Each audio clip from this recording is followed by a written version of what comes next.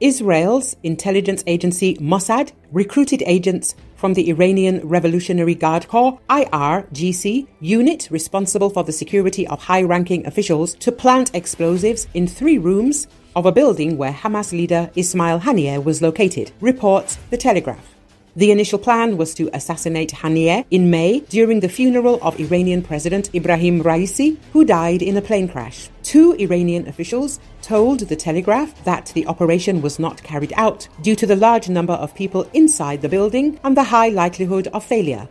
Instead, two agents placed explosive devices in three rooms of an IRGC hostel in northern Tehran where Haniyeh might have stayed.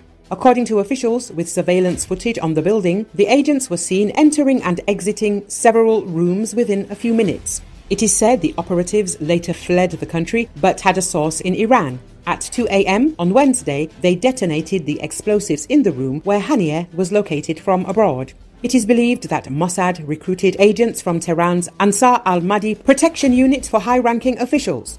They are now certain that Mossad hired agents from the Ansar al Mahdi Protection Unit, an IRGC official told The Telegraph. He added, upon further investigation, they discovered additional explosive devices in two other rooms. A second official from the IRGC's elite military forces told the publication that this is a humiliation for Iran and a serious security breach. The official said a task force was set up to come up with ideas to frame the killing as unrelated to a security breach. It is still a question for everyone how it happened. I can't make sense of it. There must be something higher up in the hierarchy that no one knows about, he added. Currently, various IRGC sectors are blaming each other for the failures, the first source reported.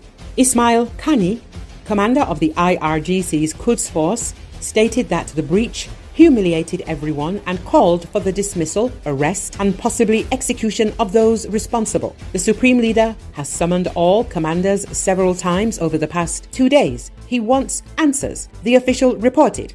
On July the 31st, Hamas leader Ismail Haniyeh was killed in Tehran. It is still unclear how he died, whether from an airstrike or a bomb planted in the building. Iran and Hamas blamed Israel for the attack, though Israel has not officially claimed responsibility for the operation.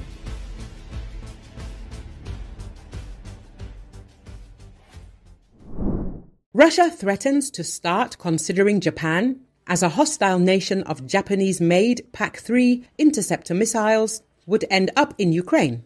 This comes in response to a recent deal between Japan and the United States, as reported by NHK. In late July, Japan's defense ministry agreed to transfer domestically manufactured PAC 3 missiles to the US, which is facing a shortage of interceptors due to its support for Ukraine. The deal, valued at approximately $19.5 million, marks the first time Japan has transferred PAC 3 missiles under its revised defense equipment export guidelines. The Russian Foreign Ministry's deputy spokesperson, Andrei Nastasin, expressed skepticism about the deal during a 31st of July news briefing. He warned that if Japanese missiles are transferred to the Ukrainian army, Moscow would view Tokyo as hostile to Russia. Nastasin claimed that Russia reserves the right to take the most resolute countermeasures, including in the context of bilateral relations with Japan, although he did not specify what actions might be taken. The situation unfolds as Ukraine aims to strengthen its air defense against continued Russian drone and missile strikes.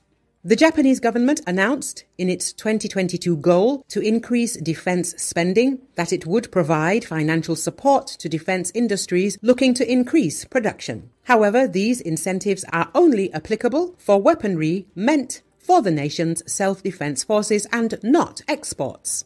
The manufacturing hiccup in Japan demonstrates the difficulties Washington has connecting the industrial support of its international partners to its intricate supply chains. Even with the assistance of its close allies, the US is having difficulty meeting Ukraine's need for arms, especially air defense systems capable of fending off Russian attacks due to supply chain bottlenecks.